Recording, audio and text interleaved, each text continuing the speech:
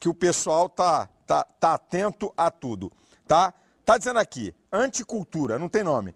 Por que nós evangélicos não podemos usar piercing nem tatuagem? É bíblico?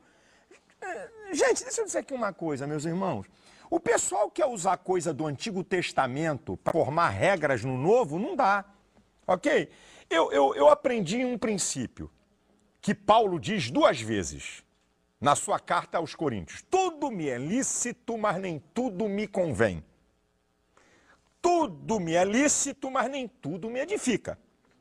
Tudo me é lícito, mas nem tudo me convém. Tudo me é lícito, mas eu não me deixarei dominar por coisa nenhuma.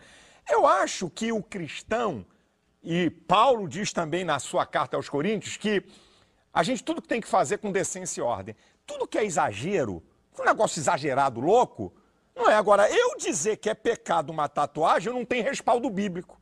Eu dizer que um piercing é pecado, eu não tenho respaldo bíblico. Não tem, não está nas regras do Novo Testamento. Isso é um costume social. Agora, se um crente vem cheio de coisa na orelha, no nariz, não sei aonde, na boca, e tudo, um negócio escandaloso, acho que o cristão, ele é, um, é uma pessoa moderada. Tá certa? Agora, dizer que é pecado e dizer que não pode, tem respaldo bíblico para dizer isso. Ninguém tem, com todo respeito. E não é porque eu não gosto de uma coisa que é pecado. Ou gente para ter mania de refletir nos outros aquilo que ele não gosta. Tá? Paulo diz em Romanos 14, ó, um crê e come de tudo.